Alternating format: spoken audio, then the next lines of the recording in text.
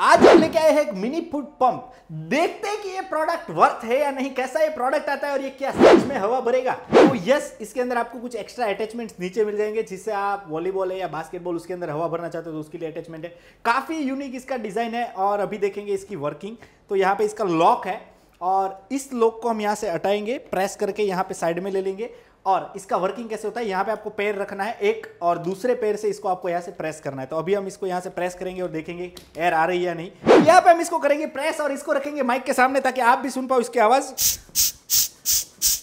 तो यस काफ़ी अच्छी एयर जो है ये जनरेट कर रहा है और पोर्टेबल है इजी टू यूज़ है, आप इसको बाइक कार कहीं पे भी साथ में रख सकते हो और इससे इजीली हवा भर सकते हो। तो यस ये गैजेट वर्थ है। इसकी प्राइस की बात करें तो ये मिल जाएगा आपको वन फोर्टी में। Daily earning ideas daily earning products चौतीस से ज़्यादा प्रोडक्ट आपको मिल जाएगी हमारी वेबसाइट पे। तो विज़िट कीजिए अभी डब्ल्यू